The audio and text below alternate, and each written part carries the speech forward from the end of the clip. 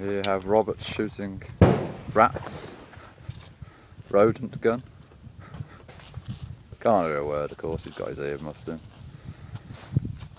Here he goes, the gunman from Birmingham. Hey? Oi! The gunman from Birmingham.